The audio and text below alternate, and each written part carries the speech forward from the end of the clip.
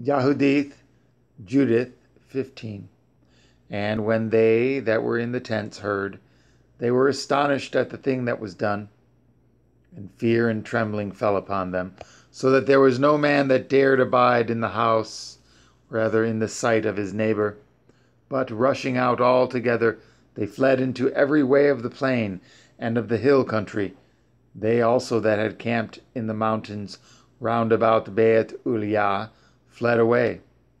Then the children of Yashara'el, every one that was a warrior among them, rushed out upon them.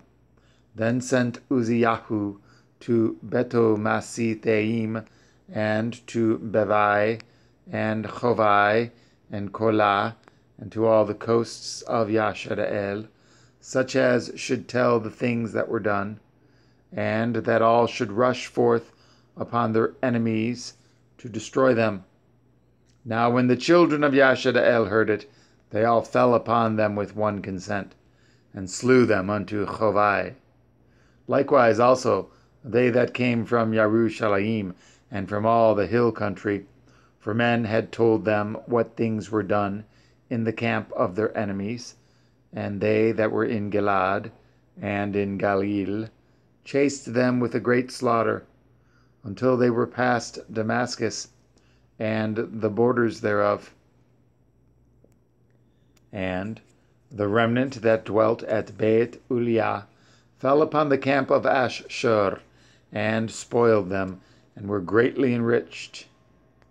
And the children of Yashara'el that returned from the slaughter had that which remained, and the villages and the cities that were in the mountains and in the plain got many spoils, for the multitude was very great. Then Yahu-Yahim, the high priest, and the ancients of the children of Yashara'el that dwelt in Yarushalayim came to behold the good things that Elohim had showed to Yashara'el, and to see Yahudith, and to salute her. And when they came unto her, they blessed her with one accord, and said unto her, You are the exaltation of Yerushalayim. You are the great glory of Yashara'el. You are the great rejoicing of our nation. You have done all these things by your hand. You have done much good to Yashara'el, and Elohim is pleased therewith. Blessed be you of El Shaddai, Yahweh, forevermore. And all the people said, So be it. And the people spoiled, rather, and the people spoiled the camp the space of thirty days. And they gave unto Yahudith Holofernes his tent, and all his plate, and beds, and vessels, and all his stuff.